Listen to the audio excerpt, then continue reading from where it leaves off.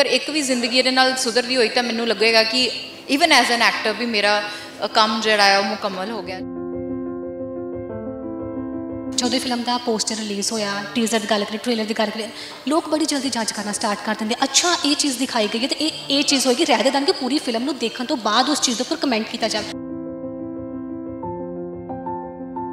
ਨਾ ਕਿ ਇਹ ਦਰਸਾਉਂਦੀ ਕਿ ਤੁਸੀਂ ਡਰੱਗਸ ਕਰੋ ਗਨ ਫੜੋ ਉਹ ਬੰਦੇ ਨੇ ਗਨ ਜੇ ਹੱਥ 'ਚ ਫੜੀ ਹੈ ਤਾਂ ਕਿਉਂ ਫੜੀ ਉਹਦਾ ਕੀ ਰੀਜ਼ਨਿੰਗ ਕੀ ਆ? ਪੰਜਾਬ ਨੂੰ ਕਿਵੇਂ ਦੇਖ ਰਹੇ ਹੋ? ਜਬ ਜਿਸ ਟਾਈਮ ਤੇ ਕੀ ਲੱਗਦਾ ਹੈ, ਕਦੋਂ ਤੱਕ ਪੰਜਾਬ ਦੇ ਹਾਲਾਤ ਸੁਧਰਨਗੇ? ਜੋ ਅਸੀਂ ਸੁਨੇਹਾ ਦੇਣਾ ਚਾਹ ਰਹੇ ਹਾਂ, ਜੇ ਸੁਨੇਹਾ ਕਿਸੇ ਇੱਕ ਨੇ ਵੀ ਉਹ ਕਰ ਲਿਆ, ਹਨਾ? ਸੀਰੀਅਸਲੀ ਲੈ ਲਿਆ, ਤੇ ਉਹਦੀ ਜ਼ਿੰਦਗੀ ਸੁਧਰ ਸਕਦੀ ਆ। ਨਾ ਕਿ ਜ਼ਿੰਦਗੀ ਖਰਾਬ ਕਰਨ ਬਾਰੇ ਸੋਚ ਰਹੇ ਹਾਂ, ਅਸੀਂ ਤੇ ਜ਼ਿੰਦਗੀਆਂ ਬਚਾਉਣ ਬਾਰੇ ਸੋਚ ਰਹੇ ਹਾਂ। ਕੁਆਂਟੀਟੀ ਦੇ ਪਿੱਛੇ ਨਹੀਂ ਪੈਣਾ ਕੁਆਲਿਟੀ ਦੇ ਪਿੱਛੇ ਪੈਣਾ, ਜਿਸ ਕਰੈਕਟਰ ਦੇ ਵਿੱਚ ਕੁਝ ਕਰਨ ਨੂੰ ਹੈ, ਮੈਂ ਉਹੀ ਕਰੈਕਟਰ ਕਰਨਾ ਸੋ ਕਦੇ ਤੁਹਾਨੂੰ ਇਸ ਪੂਰੀ ਜਰਨੀ ਦੇ ਦੌਰਾਨ ਇਦਾਂ ਦੇ ਫੀਲ ਹੋਇਆ ਕਿ ਹਾਂ, ਬਹੁਤ ਸਾਰੀਆਂ ਫਿਲਮਾਂ ਆ ਰਹੀਆਂ ਸੀ, ਬਹੁਤ ਸਾਰੇ ਕਰੈਕਟਰ ਆ ਰਹੇ ਸੀ ਬਟ ਉਸ ਚੀਜ਼ ਕਰਕੇ ਬਹੁਤ ਕੁਝ ਪਿੱਛੇ ਗਿਆ। ਹਾਂ, ਗਈਆਂ ਕਰੋੜਾਂ ਦਾ ਨੁਕਸਾਨ ਵੀ ਹੋਇਆ, ਪੈਸੇ ਵੀ ਗਏ ਕੱਲੀਆਂ ਫਿਲਮਾਂ ਹੀ ਨਹੀਂ ਗਈਆਂ। ਬਹੁਤ ਸੌਂਗਸ ਮੈਂ ਛੱਡਿਆ, ਬਹੁਤ ਮੂਵੀਜ਼ ਮੈਂ ਛੱਡੀਆਂ ਵਿਦ ਡਿਊ ਰਿਸਪੈਕਟ ਇਦਾਂ ਨਹੀਂ ਕਿ ਉਹਨਾਂ 'ਚ ਕੋਈ ਗੜਬੜ ਸੀ।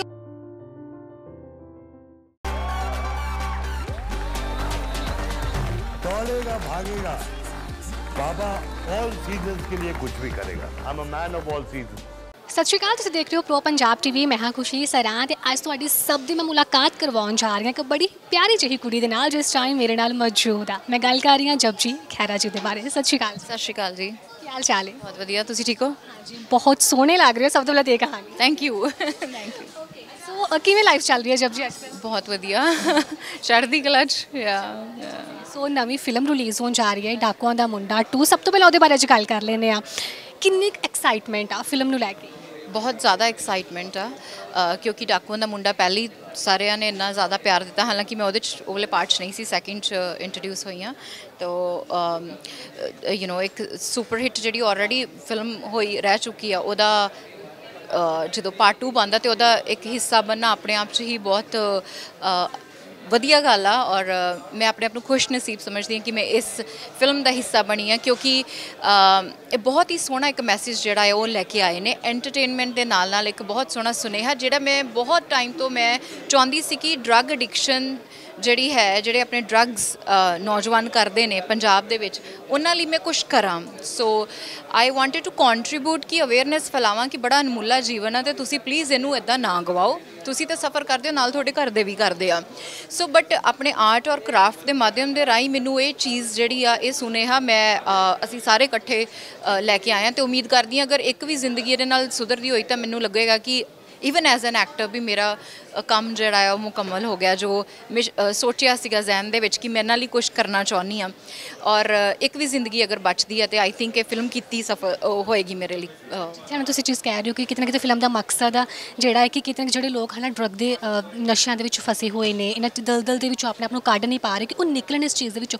ਪਰ ਉੱਥੇ ਦੂਸਰੀ ਸਾਈਡ ਤੇ ਜਬ ਇੱਕ ਚੀਜ਼ ਬੜੀ ਜਲਦੀ ਦੇਖਦੇ ਆ ਕਿ ਜਦੋਂ ਫਿਲਮ ਦਾ ਪੋਸਟਰ ਰਿਲੀਜ਼ ਹੋਇਆ ਟੀਜ਼ਰ ਦੀ ਗੱਲ ਕਰੀਏ ਟ੍ਰੇਲਰ ਦੀ ਗੱਲ ਕਰੀਏ ਲੋਕ ਬੜੀ ਜਲਦੀ ਜੱਜ ਕਰਨਾ ਸਟਾਰਟ ਕਰ ਦਿੰਦੇ ਅੱਛਾ ਇਹ ਚੀਜ਼ ਦਿਖਾਈ ਗਈ ਹੈ ਤੇ ਇਹ ਇਹ ਚੀਜ਼ ਹੋਏਗੀ ਰਹਿਦੇ ਦਨ ਕਿ ਪੂਰੀ ਫਿਲਮ ਨੂੰ ਦੇਖਣ ਤੋਂ ਬਾਅਦ ਉਸ ਚੀਜ਼ ਦੇ ਉੱਪਰ ਕਮੈਂਟ ਕੀਤਾ ਜਾਵੇ। ਉਸ ਚੀਜ਼ ਨੂੰ ਕਿਵੇਂ ਲੈਂਦੇ ਹੋ? ਰਾਈਟ ਆਪਾਂ we are very quick to ਜੱਜ ਆਪਾਂ ਬਹੁਤ ਜਲਦੀ ਜੱਜ ਕਰ ਲੈਂਦੇ ਆ we are very judgemental but human nature ਆ ਨਾ, ਕੀ ਕਰ ਸਕਦੇ ਆ ਜਦੋਂ ਪੋਸਟਰ ਦੀ ਤੁਸੀਂ ਗੱਲ ਜਿੱਦਾਂ ਕਰ ਰਹੇ ਹੋ, ਉਹ ਐਦਾਂ ਲੱਗਦਾ ਹੋਏਗਾ ਕਈਆਂ ਨੂੰ ਕਿ ਗਲੋਰੀਫਾਈ ਕੀਤਾ ਗਨ ਕਲਚਰ ਪ੍ਰਮੋਟ ਕਰ ਰਿਹਾ ਬਟ ਐਦਾਂ ਦਾ ਕੁਝ ਵੀ ਨਹੀਂ ਹੈਗਾ।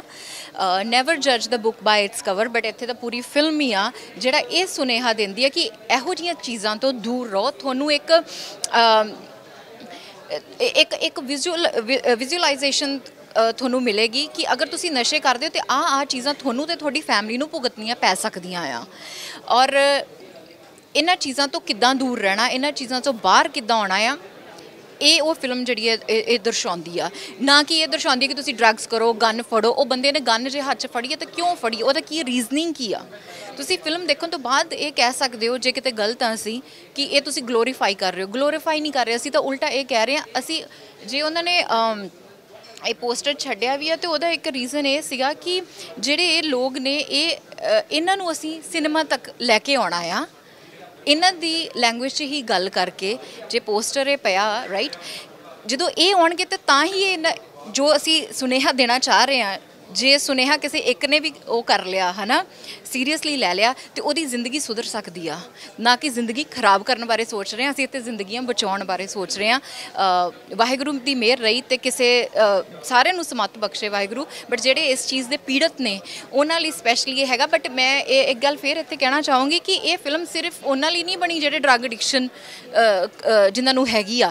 ਇਹ ਸਾਡੇ ਵਾਸਤੇ ਵੀ ਆ, ਕਿਉਂਕਿ ਅਸੀਂ ਉਹਨਾਂ ਲੋਕਾਂ ਦੀ ਹੈਲਪ ਕਿੱਦਾਂ ਕਰਨੀ ਹੈ ਐਜ਼ ਅ ਸਿਟੀਜ਼ਨ ਆਪਣੇ ਵੀ ਫਰਜ਼ ਬਣਦੇ ਨੇ ਕਿ ਆਪਣੇ ਸਮਾਜ ਨੂੰ, ਸਮਾਜ ਦੇ ਪ੍ਰਤੀ ਅਸੀਂ ਕੁਝ ਕਰੀਏ ਰਾਈਟ ਸੋ ਅਗਰ ਆਪਾਂ ਦੇਖਾਂਗੇ ਕਿ ਉਹਨਾਂ ਦੀ ਲਾਈਫ ਕਿੰਨੀ ਬੈਡਲੀ ਇਫੈਕਟ ਹੁੰਦੀ ਹੈ ਔਰ ਆਪਾਂ ਉਸ ਸਮਾਜ 'ਚ ਰਹਿ ਰਹੇ ਹਾਂ, ਆਉਣ ਵਾਲੀ ਜਨਰੇਸ਼ਨ ਆਪਾਂ ਚਾਹੁੰਦੇ ਹਾਂ ਕਿ ਇਹਨਾਂ ਚੀਜ਼ਾਂ ਤੋਂ ਦੂਰ ਰਵੇ ਤੇ ਸਾਨੂੰ ਇੱਕ ਵਾਰੀ ਇਹ ਫਿਲਮ ਜ਼ਰੂਰ ਦੇਖਣੀ ਚਾਹੀਦੀ ਹੈ ਕਿ ਅਸੀਂ ਕਿੱਦਾਂ ਕੰਟਰੀਬਿਊਟ ਕਰ ਸਕਦੇ ਹਾਂ ਕਿ ਜੇ ਨਾਲ ਦਾ ਬੰਦਾ ਡਰੱਗੀ ਹੈ ਤੇ ਉਹਨੂੰ ਆਪਾਂ ਕਿੱਦਾਂ ਸਪੋਰਟ ਕਰ ਸਕਦੇ ਹਾਂ ਕਿ ਉਹ ਇਸ ਚੀਜ਼ 'ਚੋਂ ਬਾਹਰ ਆਵੇ।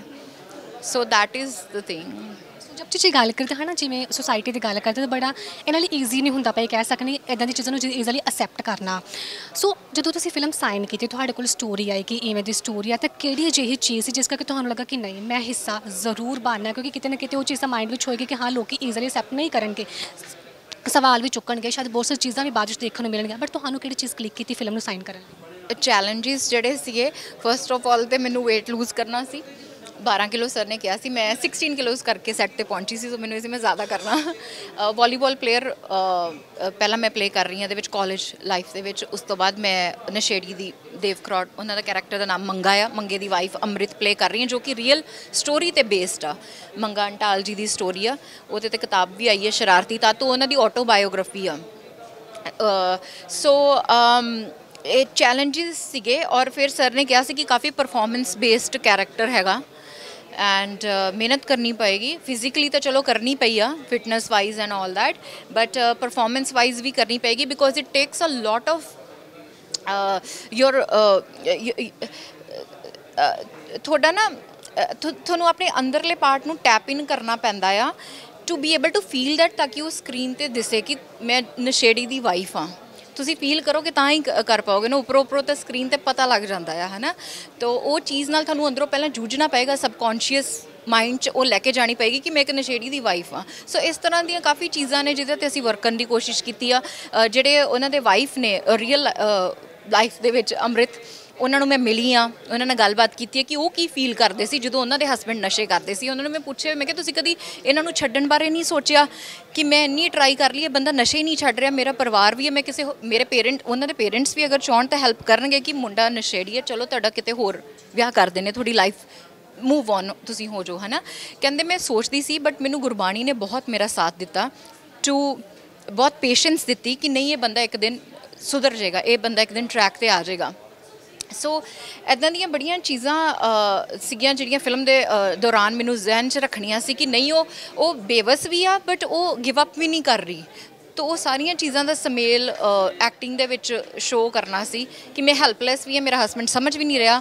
ਨਸ਼- ਨਸ਼ੇ ਵੀ ਨਹੀਂ ਛੱਡ ਰਿਹਾ, ਮੈਂ ਵੀ ਇਹਨੂੰ ਨਹੀਂ ਛੱਡ ਸਕਦੀ, ਮੈਂ ਛੱਡਣਾ ਵੀ ਚਾਹੁੰਦੀ ਹਾਂ, ਤਾਂ ਬਹੁਤ ਕੁਝ ਸੀਗਾ ਜਿਹੜਾ ਉਸ ਟਾਈਮ ਤੇ ਚੱਲਦਾ ਸੀਗਾ। ਫਿਰ ਜਬ ਜੀ, ਕਿੰਨਾ ਕੁ ਔਖਾ ਸੀ, ਕਿਉਂਕਿ ਇੱਕ ਰੀਅਲ ਲਾਈਫ ਸਟੋਰੀ ਨੂੰ ਵੱਡੇ ਪਰਦੇ ਤੇ ਠੀਕ ਆ, ਨਿਭਾ ਰਹੇ ਹਾਂ ਪਰ ਕਿਤੇ ਨਾ ਕਿਤੇ ਆਪਣੀ ਰੀਅਲ ਲਾਈਫ ਦੇ ਵਿੱਚ ਵੀ ਉਸ ਕਰੈਕਟਰ ਦੇ ਉੱਪਰ ਵਰਕ ਕਰਨਾ, ਉਸ ਕਰੈਕਟਰ ਨੂੰ ਜੀਣਾ, ਕਿਤੇ ਕੁਝ ਮੁਸ਼ਕਿਲ ਲੱਗਾ ਕਿਸੇ ਪੁਆਇੰਟ ਤੇ ਆ ਕੇ ਕਿ ਤੁਸੀਂ ਫੀਲ ਕਰਨ ਲੱਗ ਪਏ ਸੱਚੀ ਉਸ ਚੀਜ਼ਾਂ ਨੂੰ, ਜਦੋਂ ਤੁਹਾਨੂੰ ਲੱਗਾ ਕਿ ਹਾਂ, ਮੈਨੂੰ ਛੱਡਣਾ ਔਖਾ ਹੋ ਰਿਹਾ ਆ ਉਦਾਂ ਦਾ ਕਰੈਕਟਰ ਕਿਵੇਂ ਰਿਹਾ ਸਾਰਾ ਟਾਈਮ ਜੋ ਸ਼ੂਟਿੰਗ ਦੇ ਦੌਰਾਨ?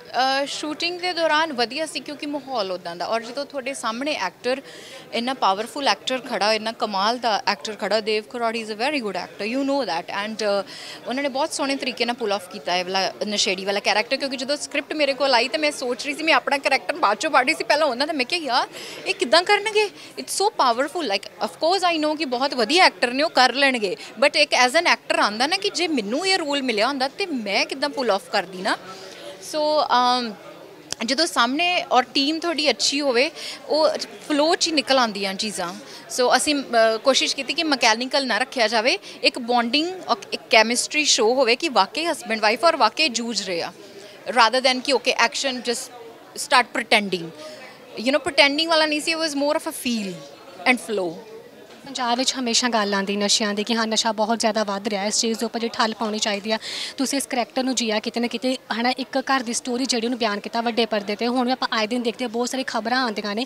ਕਿਤੇ ਨਾ ਕਿਤੇ ਪੂਰੀ ਪੂਰੀ ਫੈਮਿਲੀ ਜਿਹੜੀ ਉਹ ਵੀ ਨਸ਼ਿਆਂ ਦੇ ਵਿੱਚ, ਉਹ- ਆਪਣੇ ਆਪ ਨੂੰ ਕਿਵੇਂ ਉਹਨਾਂ ਨੇ ਬੰਦ ਕੀਤਾ ਆ। ਬਾਹਰ ਦੁਨੀਆ ਦੇ ਨਾਲ ਸਭ ਕੁਝ ਨਾਤਾ ਟੁੱਟ ਚੁੱਕਾ ਹੈ। ਪੰਜਾਬ ਨੂੰ ਕਿਵੇਂ ਦੇਖ ਰਹੇ ਹੋ? ਜਬ ਇਸ ਟਾਈਮ ਤੇ ਕੀ ਲੱਗਦਾ ਕਦੋਂ ਤੱਕ ਪੰਜਾਬ ਦੇ ਹਾਲਾਤ ਸੁਧਰਨਗੇ, ਕਦੋਂ ਤੱਕ ਸਾਡੀ ਜਿਹੜੀ ਯੂਥ ਆ, ਇਹਨਾਂ ਚੀਜ਼ਾਂ ਦੇ ਵਿੱਚੋਂ ਬਾਹਰ ਨਿਕਲੇਗੀ? ਕਿੰਨੀ ਕੁ ਹੋਰ ਜ਼ਰੂਰਤ ਹੈ ਇਦਾਂ ਦੀਆਂ ਫਿਲਮਾਂ ਨੂੰ ਵੱਡੇ ਪਰਦੇ ਤੇ ਲੈ ਕੇ ਆਉਣ ਦੀ? ਦੇਖੋ, ਗੁਰੂਆਂ ਪੀਰਾਂ ਦੀ ਧਰਤੀ ਆ। ਬਹੁਤ ਮਿਹਰ ਆ ਆਪਣੀ ਇਸ ਧਰਤੀ ਤੇ ਪੰਜਾਬ ਤੇ। ਤੋ ਮੈਨੂੰ ਲੱਗਦਾ ਨਹੀਂ ਆ ਕਿ ਪੰਜਾਬ ਨੂੰ ਕਿਤੇ ਐਦਾਂ ਦਾ ਕੁਝ ਹੋਏਗਾ। ਇਹ ਆਪਾਂ ਹੀ ਅਗਰ ਆਪਾਂ ਯੋਗਦਾਨ ਪਾਈਏ, ਆਪਾਂ ਤੁਸੀਂ ਵੀ ਆਪਣੀ ਰਿਸਪੌਂਸਿਬਿਲਿਟੀ ਸਮਝੋ, ਮੈਂ ਵੀ ਸਮਝਾਂ। ਚਲੋ ਜੇ ਆਪਣੇ ਸਮਾਜ ਦੇ ਵਿੱਚ ਆ ਬੁਰਾਈਆਂ ਹੈਗੀਆਂ ਤੇ ਥੋੜਾ ਜਿਹਾ ਤੁਸੀਂ ਕੰਟਰੀਬਿਊਟ ਕਰੋ ਥੋੜਾ ਜਿਹਾ ਇਹ ਭਾਈ ਸਾਹਿਬ ਕਰਦੇ ਥੋੜਾ ਮੈਂ ਕਰਦੀ ਆ ਥੋੜਾ ਜਿਹੜੇ ਦੇਖ ਰਹੇ ਨੇ ਸ਼ਾਇਦ ਉਹ ਕਰਨ ਕਿ ਸਮਾਜ ਨੂੰ ਆਪਾਂ ਬੈਟਰ ਪਲੇਸ ਬਣਾਈਏ। ਠੀਕ ਹੈ ਨਾ? ਉਹ ਇੱਕ ਸੇਇੰਗ ਵੀ ਹੈਗੀ ਆ ਨਾ ਕਿ ਜੇ ਆਪਾਂ ਇਸ ਧਰਤੀ ਤੇ ਆਏ ਆ ਤੇ ਮੇਕ ਸ਼ੋਰ ਕਿ ਆਪਾਂ ਇਸ ਧਰਤੀ ਨੂੰ ਜੋ ਛੱਡਣਾ, ਤੇ ਇਹਨੂੰ ਬੈਟਰ ਪਲੇਸ ਬਣਾ ਕੇ ਹੀ ਛੱਡ ਕੇ ਜਾਈਏ। ਠੀਕ ਹੈ ਨਾ? ਸੋ ਜਿਸ ਜਿਨ੍ਹਾਂ ਲੋਕਾਂ ਨਾਲ ਆਪਾਂ ਵਿਚਰਨਾ ਹੈ we need to make sure ਕਿ ਉਹ ਸੋਸਾਇਟੀ ਅੱਛੀ ਹੈ ਉਹ ਕਿੱਦਾਂ ਜੇ ਆਪਾਂ ਆਪਣਾ ਰੋਲ ਵੀ ਪਲੇ ਕਰਾਂਗੇ। ਸੋ ਮੈਂ ਤਾਂ ਹੀ ਇਹ ਗੱਲ ਕਹਿ ਰਹੀ ਸੀ, ਤੁਸੀਂ ਇਹ ਫਿਲਮ ਜਾ ਕੇ ਜ਼ਰੂਰ ਦੇਖਿਓ। ਚਾਹੇ ਤੁਸੀਂ ਨਸ਼ੇ ਨਹੀਂ ਵੀ ਕਰਦੇ, ਚਾਹੇ ਕੋਈ ਫੈਮਿਲੀ 'ਚ ਨਸ਼ੇ ਨਹੀਂ ਕਰਦਾ, ਬਹੁਤ ਵਧੀਆ ਗੱਲ ਆ। ਬਟ ਇੱਕ ਤੁਹਾਨੂੰ ਐਜ਼ ਅ ਸਿਟੀਜ਼ਨ ਤੁਹਾਨੂੰ ਪਤਾ ਚੱਲੇਗਾ ਕਿ ਤੁਹਾਡੇ ਕੀ ਫਰਜ਼ ਬਣਦੇ, ਤੁਸੀਂ ਕਿੱਦਾਂ ਇਹਨਾਂ ਲੋਕਾਂ ਨੂੰ ਸੇਵ ਕਰ ਸਕਦੇ, ਇਹਨਾਂ ਲੋਕਾਂ ਨੂੰ ਸੇਵ ਕਰੋਗੇ ਤਾਂ ਹੀ ਆਪਣਾ ਸਮਾਜ ਜਿਹੜਾ ਕੋਲੈਕਟਿਵਲੀ ਅੱਛਾ ਬਣੇਗਾ ਰਾਈਟ ਬਾਕੀ ਪਲੀਜ਼ ਮੈਂ ਹਮੇਸ਼ਾ ਕਹਿੰਦੀ ਹੁੰਦੀ ਆ ਮੇਰੀ ਉਹਨਾਂ ਭਰਾਵਾਂ ਨੂੰ ਕਈ ਤੇ ਹੁਣ ਭੈਣਾਂ ਵੀ ਲੱਗ ਗਈਆਂ ਮੈਂ ਸੁਣਿਆ, ਹੈ ਨਾ? ਤੁਹਾਨੂੰ ਹੱਥ ਜੋੜ ਕੇ ਬੇਨਤੀ ਵੀ ਬਹੁਤ ਅਨਮੁੱਲਾ ਜੀਵਨ ਆ ਇਹ, ਇਹਨੂੰ ਨਾ ਗਵਾਓ ਇਦਾਂ ਤੁਸੀਂ ਤਾਂ ਸਫਰ ਕਰਦੇ ਹੋ, ਤੁਹਾਡੇ ਪੇਰੈਂਟਸ ਤੁਹਾਡਾ ਪਰਿਵਾਰ ਪੂਰਾ ਸਫਰ ਕਰਦਾ ਔਰ ਕਈ ਜਿੱਦਾਂ ਇਹਦੇ ਵਿੱਚ ਦਿਖਾਇਆ ਕੁੱਟਦੇ ਵੀ ਆ ਮੇਰੇ ਤੇ ਹੱਥ ਵੀ ਚੱਕਦੇ ਨਸ਼ੇ ਦੇ ਵਿੱਚ ਜਦੋਂ ਹੁੰਦੇ ਨੇ ਸੋ ਇਦਾਂ ਤੇ ਰੀਅਲ ਲਾਈਫ ਚ ਹੁੰਦਾ ਮੈਂ ਤੇ ਚਲੋ ਪੜਦੇ ਤੇ ਸਿਆ ਅਸੀਂ ਤੇ ਕਰਕੇ ਆਪਣਾ ਘਰ ਆ ਜਾਣਾ ਬਟ ਰੀਅਲ ਲਾਈਫ ਦੇ ਵਿੱਚ ਜਿਹੜੀਆਂ ਲੇਡੀਜ਼ ਇਦਾਂ ਜੂਝ ਰਹੀਆਂ ਨਾ ਚੀਜ਼ਾਂ ਨਾ it's it's very difficult so ਮੈਂ ਅ, ਜਿੱਦਾਂ ਹੁਣ ਪੰਜਾਬ ਗਵਰਨਮੈਂਟ ਉਹਨਾਂ ਨੇ ਵੀ ਅਨਾਉਂਸ ਕੀਤਾ ਹੈ ਕਿ ਜਿਹੜੇ ਨਸ਼ੇ ਛੱਡਣਾ ਚਾਹੁੰਦੇ ਨੇ ਉਸ ਤੋਂ ਬਾਅਦ ਅਸੀਂ ਵੀ ਤੁਹਾਡੀ ਸਪੋਰਟ ਕਰਾਂਗੇ। ਬਟ ਪਹਿਲਾ ਸਟੈਪ ਤੁਹਾਨੂੰ ਹੀ ਲੈਣਾ ਪੈਣਾ ਆ।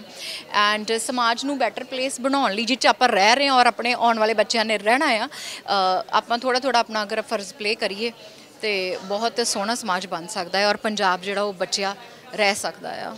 ਚਾਹੁੰਦੇ ਨੇ, ਮੈਂ ਇੱਕ ਦੋ ਕੁਐਸਚਨ ਤੁਹਾਨੂੰ ਲੈ ਕੇ ਜ਼ਰੂਰ ਲੈਣਾ ਚਾਹਾਂਗੀ ਇੱਥੇ, ਕਿਉਂਕਿ ਹਮੇਸ਼ਾ ਅਜਬ ਜੀ ਮੈਂ ਤੁਹਾਨੂੰ ਲੈ ਕੇ ਬੜੀ ਚੀਜ਼ ਆਉਂਦੀ ਤੁਹਾਡਾ ਹਮੇਸ਼ਾ ਹੁੰਦਾ ਕਿ ਬਹੁਤ ਜ਼ਿਆਦਾ ਕੁਆਂਟੀਟੀ ਦੇ ਪਿੱਛੇ ਨਹੀਂ ਪੈਣਾ ਕੁਆਲਿਟੀ ਦੇ ਪਿੱਛੇ ਪੈਣਾ, ਜਿਸ ਕਰੈਕਟਰ ਦੇ ਵਿੱਚ ਕੁਝ ਕਰਨ ਨੂੰ ਹੈ, ਮੈਂ ਉਹੀ ਕਰੈਕਟਰ ਕਰਨਾ ਸੋ ਕਦੀ ਤੁਹਾਨੂੰ ਇਸ ਪੂਰੀ ਜਰਨੀ ਦੇ ਦੌਰਾਨ ਇਦਾਂ ਦੀ ਫੀਲ ਹੋਇਆ ਕਿ ਹਾਂ, ਬਹੁਤ ਸਾਰੀਆਂ ਫਿਲਮਾਂ ਆ ਰਹੀਆਂ ਸੀ, ਬਹੁਤ ਸਾਰੇ ਕਰੈਕਟਰ ਆ ਰਹੇ ਸੀ ਬਟ ਉਸ ਚੀਜ਼ ਕਰਕੇ ਬਹੁਤ ਕੁਝ ਪਿੱਛੇ ਗਿਆ, ਜਾਂ ਬਹੁਤ ਸਾਰੀ ਚੀਜ਼ਾਂ ਤੁਸੀਂ ਛੱਡੀਆਂ ਨੇ ਕਿ ਹਾਂ, ਮੈਨੂੰ ਸਿਰਫ ਉਹ ਚੀਜ਼ ਚਾਹੀਦੀ ਕੁਝ ਕਰਨ ਨੂੰ ਹੋਵੇ, ਸਿਰਫ ਉਹੀ ਕਰੈਕਟਰ ਲੈਣਾ ਹੈ।